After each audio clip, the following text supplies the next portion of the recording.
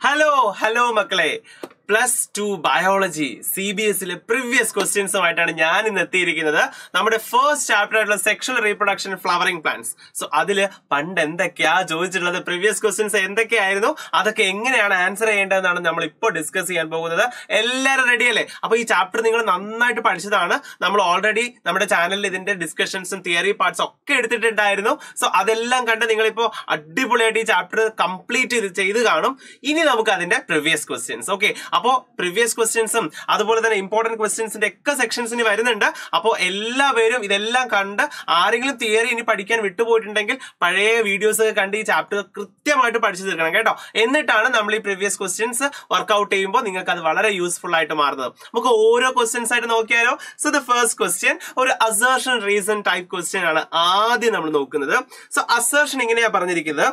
The endosperm is completely consumed during the development of embryo, embryo in an ex albuminous seed.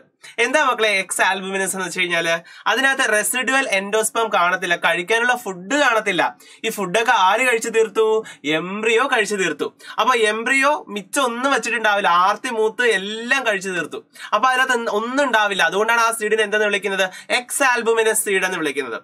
പക്ഷെ albuminous seed ആയിരുന്നെങ്കിലോ അതിനകത്ത് residual endosperm ഉണ്ടാകും എന്നാണ് നമ്മൾ പഠിച്ചിട്ടുള്ളത്. അപ്പൊ ഇവിടെ എക്സ് ആൽബുമിനസ് സീഡ് ആണ്. അപ്പൊ അതുകൊണ്ട് തന്നെ എൻഡോസ്പം ഒന്നും കാണത്തില്ല. അത് ആര് കഴിച്ചു തീർക്കും? നമ്മുടെ എംബ്രിയോ കഴിച്ചു തീർക്കും. സോ അസർഷൻ നമുക്ക് മനസ്സിലായി. And what is the reason given wheat castor pea and beans are all examples of exalbuminous seed അയ്യോ അതിനകത്ത് ചെറിയൊരു തെറ്റുണ്ട്. എന്താ അത്? വീറ്റ് എന്ന് പറയുന്നത് ആൽബുമിനസ് സീഡ് ആണ്. അല്ലെങ്കിൽ എക്സ് ആൽബുമിനസ് സീഡ് അല്ല. അപ്പൊ അതുകൊണ്ട് തന്നെ ആ റീസൺ തെറ്റിപ്പോയി. ബാക്കി തന്നിരിക്കുന്ന കാസ്റ്റർ കാസ്റ്ററും തെറ്റിപ്പോയല്ലോ. പി ഓക്കെയാണ് ബീൻസും ഓക്കെയാണ് ഓക്കെ സോ ആ തന്നിരിക്കുന്നതിനകത്ത് അസേർഷൻ മാത്രമേ ശരിയായിട്ടുള്ളൂ. റീസൺ തെറ്റിപ്പോയി. സോ അസേർഷൻ ശരിയാണ് റീസൺ ഫോൾസ് ആണ്. ഓക്കെ അല്ലേ? അടുത്ത ക്വസ്റ്റ്യനിലേക്ക് പോവാം നമുക്ക്. So the next question from the end of the ovule and how does the pollen tube gain its entry into the embryo sac of a hibiscus flower. ഒരു hibiscus ഫ്ലവറിൽ ഓവ്യൂളിന്റെ എങ് ഏത് ഭാഗത്ത് കൂടിയാണ് പോളൻ ട്യൂബ് എൻട്രി ചെയ്യുന്നത് എന്നാണ് ചോദ്യം. അപ്പൊ നമുക്കൊന്ന് നോക്കിയാലോ നമുക്കറിയാം പോളൻ ട്യൂബ് നമ്മൾ എടുത്ത് അല്ലെങ്കിൽ നമ്മുടെ ഓവ്യൂൾ നമ്മൾ എടുത്തു കഴിഞ്ഞാൽ suppose this is an ovule so ഓവ്യൂളിൽ pollen tube entry ചെയ്യുന്നത് നമുക്കറിയാം. പോളൻ ട്യൂബ് ഇതുപോലെ വന്നിട്ട് എൻട്രി ചെയ്യുന്ന ഒരു പൊസിഷൻ ഉണ്ട്. അപ്പൊ അത് എവിടെ കൂടിയാണ് എൻട്രി ചെയ്യുന്നതാണ് നമ്മൾ പഠിക്കേണ്ടത്. മക്കളെ നമ്മൾ ഓവ്യൂളിന്റെ സ്ട്രക്ചർ പഠിച്ചപ്പോൾ ഇൻഡഗുമെന്റ്സ് അങ്ങനെയൊക്കെ നമ്മൾ പഠിച്ചില്ലേ? ആ ഇൻഡഗുമെന്റിന്റെ അവിടെ നിങ്ങൾക്കറിയാം ഒരു ഒരു ഓപ്പണിംഗ് ഇങ്ങനെ കാണപ്പെടുന്നുണ്ട് അല്ലേ? യെസ് ആ ഓപ്പണിംഗ് നമ്മൾ വിളിക്കുന്ന പേരെന്തായിരുന്നു? That is called micropyle so micro പൈലിൽ കൂടിയാണ് ആക്ച്വലി ഹിബിസ്കസിന്റെ കേസിൽ ആര് എന്റർ ചെയ്യുന്നത്? നമ്മുടെ പോളൻ ട്യൂബ് എന്റർ ചെയ്യുന്നത്. സോ പോളൻ ട്യൂബ് എന്റർ ചെയ്യുന്നത് ഹിബിസ്കസിന്റെ കേസിൽ മൈക്രോ പൈലാർ എൻഡിൽ കൂടിയാണ്. ആക്ച്വലി പലരുടെ ചലാസിൽ എൻഡിൽ കൂടിയൊക്കെ കയറുന്ന കേസസ് ഒക്കെ ഉണ്ട്. പക്ഷെ നമ്മുടെ N C R T discuss ചെയ്തിരിക്കുന്ന ഹിബിസ്കസിന്റെ കേസാണ് അതുകൊണ്ടാണ് ഹിബിസ്കസിന് എടുത്ത് അവിടെ ചോദിച്ചിരിക്കുന്നത്. സോ ഹിബിസ്കസിന്റെ കേസിൽ മൈക്രോ പൈലാർ എൻഡിൽ കൂടിയാണ് ആര് എന്റർ ചെയ്യുന്നത്? പോളൻ ട്യൂബ് എന്റർ ചെയ്യുന്നത്. അതിന്റെ ഒരു സബ് ക്വസ്റ്റ്യൻ കൂടിയുണ്ട്. State the fate of the male nuclei present in the pollen tube pollen ട്യൂബിലുള്ള male ന്യൂക്ലിയസിന്റെ ഭാവി എന്തായി തീരും എന്നാണ് ഇവിടെ ചോദ്യം. ഓക്കെ സോ നമുക്കറിയാം എത്ര മെയിൽ ന്യൂക്ലിയ ഉണ്ട് ഒരു പോളൻ ട്യൂബിനകത്ത് രണ്ട് മെയിൽ ന്യൂക്ലിയ ഉണ്ട് അല്ലെ? ഒരാൾ ആദ്യം ആരെ തേടി പോവും? ആ നമ്മുടെ ഓവത്തിനെ തേടി തേടി തേടി പോവും. അപ്പൊ ഓവൻ ചേച്ചിയെ കാണും. ഓവവും ഈ പറയുന്ന പോൾ ഫസ്റ്റ് മെയിൽ ന്യൂക്ലിയ ആയിട്ട് ഫെർട്ടിലൈസ് ചെയ്യും. അത് നമ്മുടെ കുഞ്ഞായിട്ട് മാറും സൈഗോട്ടായിട്ട് മാറും. അതാണ് സിംഗമി എന്ന് നമ്മൾ പറയുന്നത്. ഇനി രണ്ടാമത് ബാക്കിൽ നിന്ന് വരുന്ന ഒരു മെയിൽ ന്യൂക്ലിയസ് ഇല്ലേ? അവൻ ഇങ്ങനെ പരതി പരതി പരതി നടന്നിട്ട് എവിടെ എത്തും? സെൻട്രൽ സെല്ലിൽ എത്തും അവിടെ എത്ര ന്യൂക്ലിയസ് ഉണ്ട്? രണ്ട് ന്യൂക്ലിയസ് ഉണ്ട്. ആ രണ്ട് ന്യൂക്ലിയസിനെ അവൻ കയറി ഫെർട്ടിലൈസ് ചെയ്യും. അങ്ങനെ വരുമ്പോൾ അവിടെ ട്രിപ്പിൾ ഫ്യൂഷൻ നടക്കും. ആ ട്രിപ്പിൾ ഫ്യൂഷൻ വഴി എന്തുണ്ടാകും? പ്രൈമറി എൻഡോസ്പം ന്യൂക്ലിയസ് അത് പിന്നീട് പ്രൈമറി എൻഡോസ്പം സെല്ലായിട്ടും പിന്നീട് എൻഡോസ്പേം ആയിട്ടും മാറും. അപ്പോ ഇതാണ് അതിന്റെ ഫേറ്റ് എന്ന് പറയുന്നത്. ഒരാൾ സിംഗമിയിൽ ഏർപ്പെടുന്നു ഒരാൾ ട്രിപ്പിൾ ഫ്യൂഷനിൽ ഏർപ്പെടുന്നു. ഒരാൾ സൈഗോട്ടായിട്ട് മാറുന്നു ഒരാൾ എൻഡോസ്പമായിട്ട് മാറുന്നു. ഓക്കെ അല്ലേ മക്കളെ? അങ്ങനെയെങ്കിൽ നെക്സ്റ്റ് ക്വസ്റ്റ്യനിലേക്ക് നമുക്ക് പോകാം. ഡിഫറൻഷിയേറ്റ് ബിറ്റ്വീൻ ദ ഫോളോയിങ് ഏതൊക്കെയാ? ഒന്ന് പെരിസ്പേം ആൻഡ് പെരികാർപ്പ്. എന്തായിരുന്നു പെരിസ്പേം എന്ന് വെച്ച് കഴിഞ്ഞാൽ ദ റെസിഡുവൽ ന്യൂക്ലിയസിനെ നമ്മൾ വിളിക്കുന്ന പേരാണ് പെരിസ്പേം എന്ന് പറയുന്നത്. അത് നമുക്ക് ബ്ലാക്ക് പെപ്പറിൽ കാണാം കോഫിയിൽ കാണാം അതിലൊക്കെയാണ് ഈ പറയുന്ന റെസിഡുവൽ ന്യൂസെല്ലസ് ഉള്ളത്.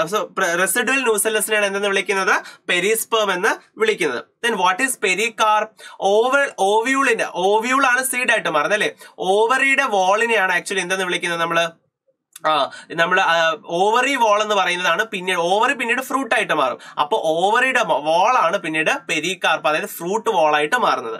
സോ പെരികാർപ്പ് എന്ന് പറയുന്നത് ഫ്രൂട്ട് വോളാണ് പെരിസ്പേം എന്ന് പറയുന്നത് ആക്ച്വലി ആ റെസിഡുവൽ ന്യൂസെല്ലസിനെ പറയുന്ന പേരാണ്. രണ്ടിലും പറയുമ്പോഴത്തേക്കും നമ്മുടെ ഒരു പെരി എന്ന് പറയുന്ന ഒരു വാക്ക് കോമൺ ആയിട്ടുണ്ടെന്നേ ഉള്ളൂ. രണ്ടും രണ്ട് കാര്യങ്ങളാണ്. അടുത്തത് syncarpous pistil and apocarpous pistil. ഇവ തമ്മിലുള്ള ഡിഫറൻസ് എന്തെന്നാണ് ചോദ്യം. സിങ്കാർപ്പസും അപ്പോകാർപ്പസും. സിങ്കാർപ്പസ് എന്ന് പറഞ്ഞാൽ ഇത്രയേ ഉള്ളൂ. നമ്മുടെ ഒരുപാട് പിസ്റ്റിൽസ് അവിടെ ഉണ്ടാകും. പക്ഷെ ആ പിസ്റ്റിലുകളെല്ലാം യുണൈറ്റഡ് സ്റ്റേറ്റിലായിരിക്കും. അതിനെയാണ് നമ്മൾ സിങ്കാർപ്പസ് എന്ന് വിളിക്കുന്നത്. ഇനി ചോദിച്ചിരിക്കുന്നത് വാട്ട് ഈസ് അപ്പോകാർപ്പസ്? അപ്പോകാർപ്പസ് എന്ന് വെച്ച് കഴിഞ്ഞാൽ എല്ലാവരും ഫ്രീ ആയിരിക്കും. നമുക്കത് വരയ്ക്കണമെങ്കിൽ ഇങ്ങനെ വരയ്ക്കാം. ഇപ്പൊ സിങ്കാർപ്പസ് എന്ന് പറയുമ്പോൾ കുറെ പിസ്റ്റിൽസ് ഇങ്ങനെ ജോയിൻ ചെയ്ത് ജോയിൻ ചെയ്തായിരിക്കും നിൽക്കുന്നത്. അതേസമയം അപ്പോ കർപ്പസ് എന്ന് പറയുമ്പോൾ ഓരോന്നും ഫ്രീ ആയിട്ട് ഇങ്ങനെ നിൽക്കും സോ ഇത് നമുക്ക് കുറച്ചുകൂടി ഡീറ്റെയിൽ നമ്മൾ ആക്ച്വലി പ്ലസ് വണ്ണിൽ പഠിക്കുന്നതാണ്. പ്ലസ് വണ്ണിൽ എക്സാമ്പിൾ സഹിതം നമുക്ക് പഠിക്കാനുണ്ടായിരുന്നു അപ്പൊ അതാണ് സിങ്കാർപ്പസും അപ്പോകാർപ്പസ് എന്ന് പറയുന്ന രണ്ട് കണ്ടീഷൻസ് അടുത്ത് ചോദിച്ചിരിക്കുന്ന പ്ലിമ്യൂളും റാഡിക്കിളും എന്താണ്? ഇത് രണ്ടും ആക്ച്വലി ഏതിന്റെ ഭാഗമാ? പ്ലിമ്യൂളും റാഡിക്കിളും എംബ്രിയോയുടെ ഭാഗമാണ് അല്ലെ? ഇതിൽ പ്ലിമ്യൂൾ എന്തായിട്ട് മാറും? Plumule will develop into shoot അല്ലെ? ഷൂട്ട് സിസ്റ്റമായിട്ട് ഡെവലപ്പ് ചെയ്യുന്നതാണ് ആക്ച്വലി പ്ലിമ്യൂൾ എന്ന് പറയുന്നത്. And what about radicle radicle will develop into root system. അപ്പോൾ ഒരാൾ ഷൂട്ട് സിസ്റ്റമായിട്ട് ഡെവലപ്പ് ചെയ്യും ഒരാൾ റൂട്ട് സിസ്റ്റമായിട്ട് ഡെവലപ്പ് ഡെവലപ്പ് ചെയ്യും. But all the two that is plumule ആയാലും റാഡിക്കൽ ആയാലും both these are the parts of embryo എംബ്രിയോയുടെ ഭാഗമായിട്ടാണ് ഇത് വരുന്നത്. നെക്സ്റ്റ് ക്വസ്റ്റ്യനിലേക്ക് പോവുകയാണ്. അടുത്ത പോളിനേഷനുമായിട്ട് ബന്ധപ്പെട്ട് വളരെ അടിപൊളി ടോപ്പിക് ആണ് അല്ലെ പോളിനേഷൻ അതുമായി ബന്ധപ്പെട്ട ഒരു ക്വസ്റ്റ്യൻ ആണ്.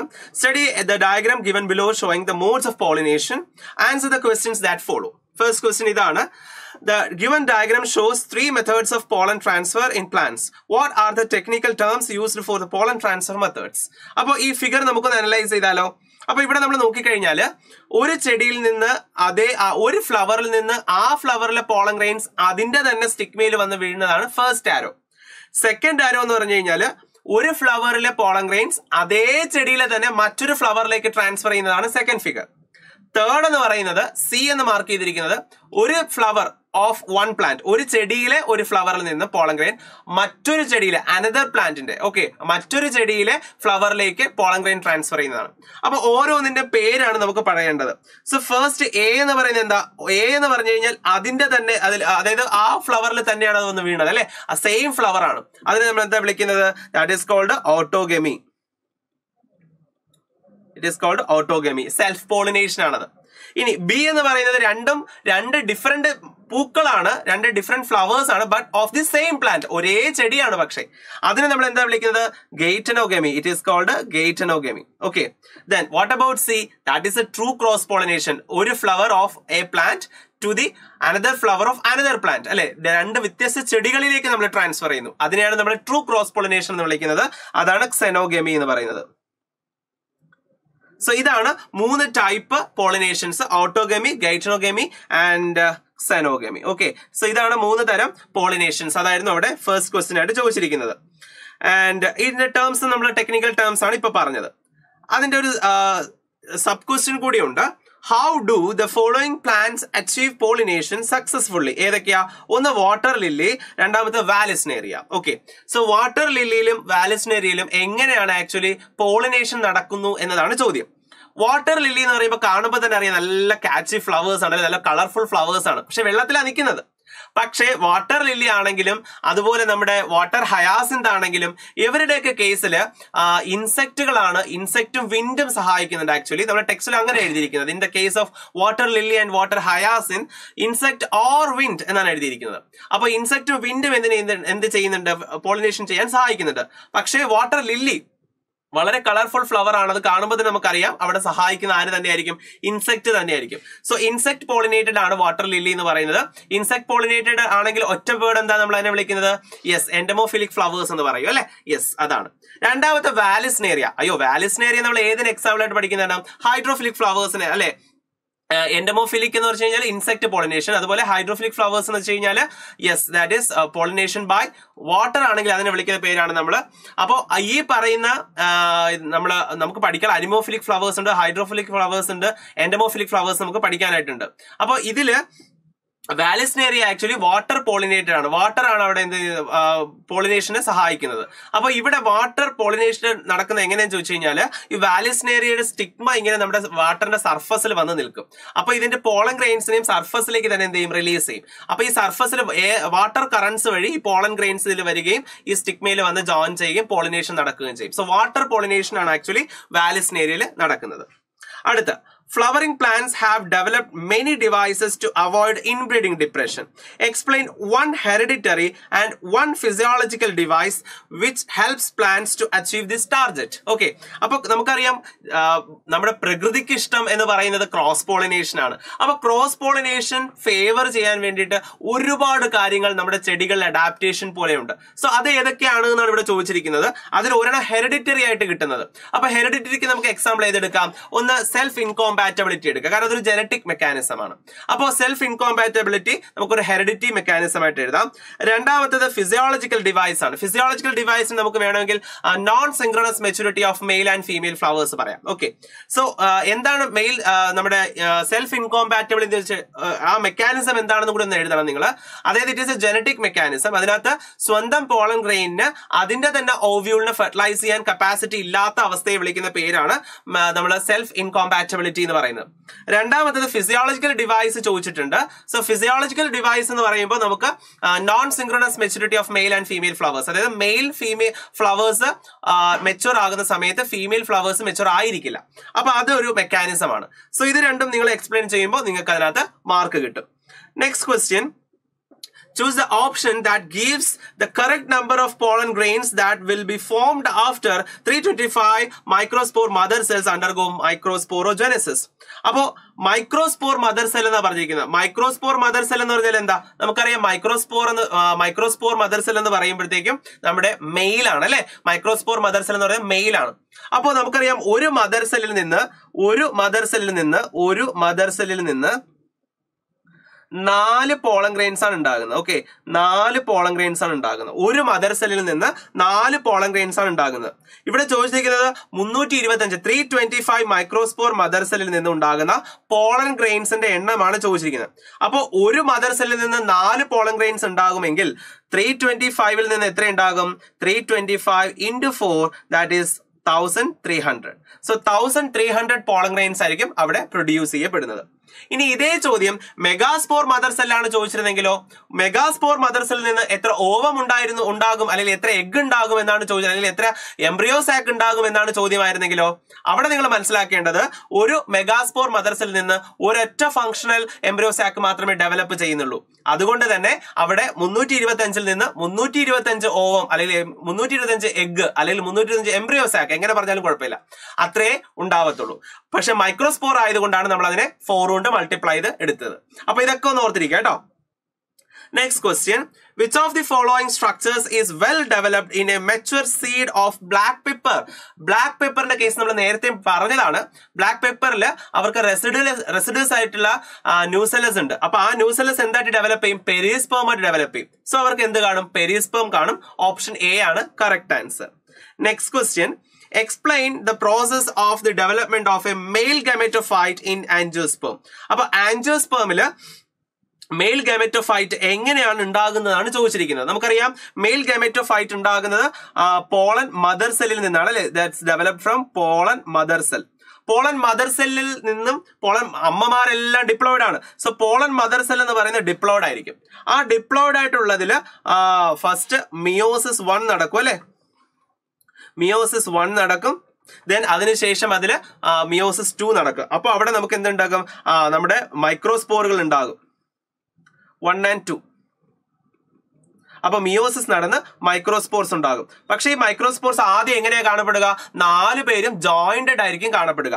സോ മൈക്രോസ്പോർസിന്റെ നാല് പേര് ജോയിൻ ചെയ്ത് കഴിഞ്ഞാൽ എന്ത് വിളിക്കും? ടെട്രാഡ് എന്ന് വിളിക്കും. പിന്നീട് അത് ഡെവലപ്പ് ചെയ്തിട്ടാണ് എന്തായിട്ട് മാറുന്നത്? മെച്ചുവർ ആയിട്ടുള്ള പോളൻ ഗ്രെയിൻസ് ആയിട്ട് മാറുന്നത്. ഈ pollen mother cell actually sporogenous ടിഷ്യൂലുള്ള ഓരോ സെല്ലുകളുമാണ് പിന്നീട് പോളൻ മദർ സെല്ലായിട്ട് മാറുന്നത്. പോളൻ മദർ സെല്ലിൽ മിയോസിസ് നടന്നിട്ടാണ് മൈക്രോസ്പോർസ് ഉണ്ടാകുന്നത്. ആ ഉണ്ടാകുന്ന നാല് പേരും ജോയിന്റഡ് ആയിരിക്കും കാണപ്പെടുക. അവരെ നമ്മൾ ടെട്രാഡ് എന്ന് വിളിക്കുന്നു. ആ ടെട്രാഡിലുള്ള ഓരോ മൈക്രോസ്പോറുകളും ഡെവലപ്പ് ചെയ്തിട്ടാണ് ആക്ച്വലി പോളൻ ഗ്രെയിൻ ആയിട്ട് ഡെവലപ്പ് ചെയ്ത് വരുന്നത്. അടുത്ത ചോദ്യം. Why is it is called male gametophyte pollen ഗ്രെയിൻസിനെ നമ്മൾ ആക്ച്വലി മെയിൽ ഗാമറ്റോഫൈറ്റ് എന്ന് വിളിക്കാൻ കാരണം എന്താണ്? കാരണം നമുക്കറിയാം പോളൻ ഗ്രെയിൻ എടുത്തു കഴിഞ്ഞാൽ അതിനകത്ത് രണ്ട് സെല്ലുണ്ട് അല്ലെ? ഒരു വലിയ സെല്ലും ഒരു ചെറിയ സെല്ലും വെജിറ്റേറ്റീവ് സെല്ലും ജനറേറ്റീവ് സെല്ലും ആ ജനറേറ്റീവ് സെല്ലിൽ നിന്നാണ് ഇനി എന്ത് ഡെവലപ്പ് ചെയ്ത് വരുന്നത്? മെയിൽ ന്യൂക്ലിയസ് അല്ലെങ്കിൽ മെയിൽ ഗാമേറ്റ്സ് ഡെവലപ്പ് ചെയ്ത് വരുന്നത്. സോ മെയിൽ ഗാമേറ്റ്സ് ഇനി അതിൽ നിന്നാണ് ഉണ്ടായി വരാനുള്ളത്. അതുകൊണ്ടാണ് അതിനെ മെയിൽ ഗാമറ്റോഫൈറ്റ് എന്ന് നമ്മൾ വിളിക്കുന്നത്. സോ ഇത്രയൊക്കെ ആയിരുന്നു ഇതിൽ നിന്ന് വരുന്ന പ്രധാനപ്പെട്ട പ്രീവിയസ് ക്വസ്റ്റ്യൻസ് എന്ന് പറയുന്നത്. സോ പ്രീവിയസ് ക്വസ്റ്റ്യൻസ് ഓൾമോസ്റ്റ് നമ്മൾ കുറെ ഡിസ്കസ് ചെയ്തിട്ടുണ്ട്.